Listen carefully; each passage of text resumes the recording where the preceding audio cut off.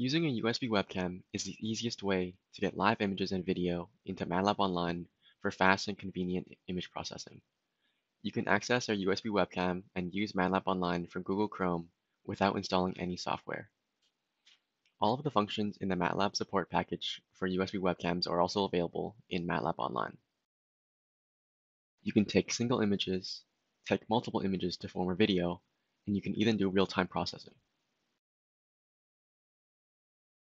Use the command webcam list to see the webcams connected to your computer. Click Allow when your browser prompts you for permission to use your camera. If you have multiple webcams connected, you can specify which webcam to connect to. You can see the properties of the webcam such as name and resolution of the camera. To get a preview of what the camera sees, you can use the command preview.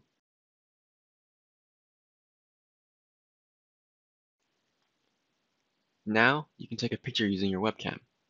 The snapshot function allows you to take a single image from your camera. I'm using the imshow function to display the image on the screen.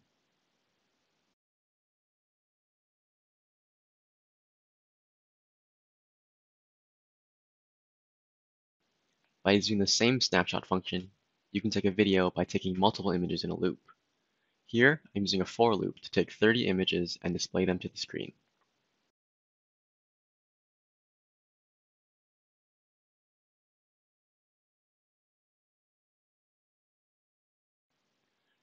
Next, in this demo, each frame of the video is classified using the pre-trained neural network GoogLeNet.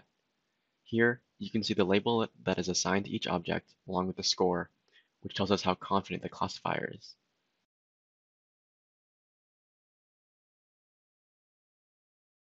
As you can see, the classifier does a pretty good job at labeling these objects, such as the coffee mug, orange, pen, mouse, and keyboard. Now you're ready to get started with your own projects in MATLAB Online using a USB webcam. For more information, please refer to the documentation on webcam support in MATLAB Online.